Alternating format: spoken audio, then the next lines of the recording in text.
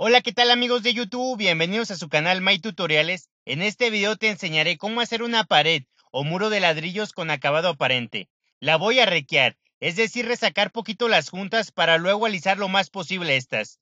Siempre digo, nunca tengas miedo de hacer las cosas. Esto puede ser más fácil de lo que piensas. Antes de malgastar dinero, mejor nos ponemos a hacer algo de ejercicio. Así que, comencemos. Aquí tengo este perfil tubular de pulgada por 2 o la otra será de tres cuartos por una tres cuartos. Se utilizan de regla y las consigues donde vendan aceros. Esta se sujetará en el Armex a nivel para colocarle un fijador de alambre y solo ir deslizando el hilo, pero ahorita me entenderán mejor. Entonces, cada hilada irá a 6.5 centímetros, la siguiente a 13 centímetros y así sucesivamente. La camarógrafa anda bien, lo que pasa es que mi niña la anda moviendo, así que disculpas. Ahora voy a hacer el fijador del hilo. Para eso uso alambre galvanizado. O también puede ser alambre recocido. Empiezo haciendo un doblez. Y ya después los dobleces son en base al tamaño de la regla metálica. Para que estén bien exacto. Y ya se corta un medio centímetro de la regla. Para proceder a doblar la punta. Donde entrará el hilo. Lo presento para que se den una idea de su funcionamiento.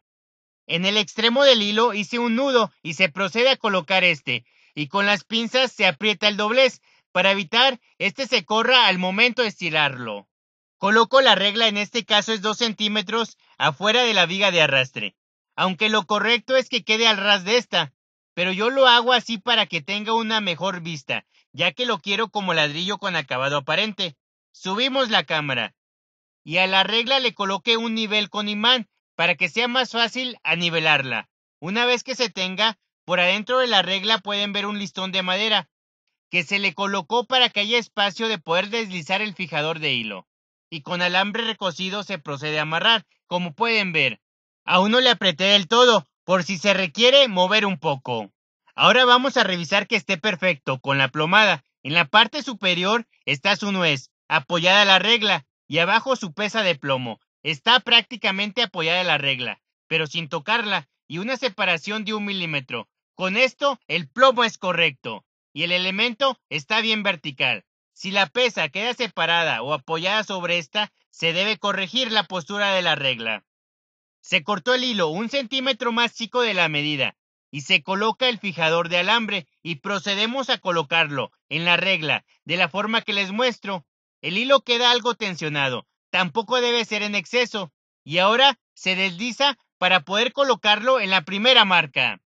Con tu cuchara, tomar una porción de mezcla de la batea y a colocarla, distribuida en sentido longitudinal. Siempre trato de hacer dos líneas para cubrir bien el ancho del ladrillo. Lo coloco y como es la primera hilada y en este caso va un poquito salido de la dala, puede ser que se necesite un poco más de mezcla. Se coloca el ladrillo, con cuidado de no dejar caer bruscamente, sino colocarlo despacio, para fácil acomodarlo según nos pida la línea. Como les dije, no debe ir muy pegado a la regla, si no después se batallará a quitar esta. Uso mi separador para que tenga una mejor vista. Miren, por ser la primera hilada de ladrillo, no quito el sobrante hasta después de que seque muy bien para que éste no se hunda. Ahora colocar el fijador del hilo. En la siguiente marca, el hilo te va a ayudar a colocar correctamente cada ladrillo, de cada hilada sucesivamente. Puedes usar hilo como este o de algún otro, pero eso sí, que no sea demasiado grueso, pero sí resistente. Una más, y con esto no hay necesidad de estar sacando el nivel en cada hilada. La verdad con esto haces un trabajo bien hecho. A mí me gusta que los ladrillos se vean bien parejitos, aunque después lleve su enjarre. De hecho, les acabo de dar una explicación rápida de cómo hacer una pared o muro de ladrillos, así que si tienes alguna duda tengo un video más completo donde les muestro más detalladamente cómo hacerla las proporciones de la mezcla y unos tips muy importantes si eres principiante en esto. En la descripción del video está el link o al final está el enlace. Para poder requearlo o no sé cómo le digan en su país, se puede apreciar el acabado muy bonito y con muy poco lo puedes hacer, la verdad. Lo que se necesita es un requeador o el nombre correcto es rascador de junta de rueda, como la imagen que les muestro. Si les interesa, lo consigues en Amazon y les dejo el link en la descripción del video. Pero como no tengo, lo que uso es un pedazo de madera y le coloco un tornillo pija, dejándolo a un centímetro, o puedes dejarle un poco más, ya depende del gusto. Para poder empezar, la mezcla en las juntas tiene que estar ligeramente endurecida, aunque no del todo, si no se batallará más. No les puedo decir el tiempo, porque ya depende de las condiciones del clima, será el tiempo en que ésta seque. El movimiento es de lado a lado y tratar de cargarle tanto arriba como abajo para ir rascando la junta uniformemente. Empiezo con las juntas horizontales y ya como todo, con la práctica se hace el maestro. Ahora las juntas verticales. Igual, recargar el tornillo de lado a lado para quitar uniformemente la mezcla. Ahora tengo un pedazo de esponja que se humedece un poco y se va pasando por la junta para quitar restos si es que quedaron y alisar un poco estas. Y aquí tengo un pedazo de solera de aluminio, que las consigues donde vendan perfiles de aluminio y te venden tramos y es barata. La recorté de ancho 1.5 centímetros y le hice un poco de curva y con estas la verdad dejas las juntas bien lisitas, como pueden ver, o también puedes hacerlo con esta herramienta especial llamada puntero, y les dejo el link de Amazon en la descripción del video. En este caso el ladrillo está un poco disparejo y puede variar un poco la medida de las juntas, pero aún así luce muy bien. Enseguida con la misma esponja se moja bien para limpiar restos de mezcla que puedan quedar en el ladrillo, y la verdad lo limpia muy bien.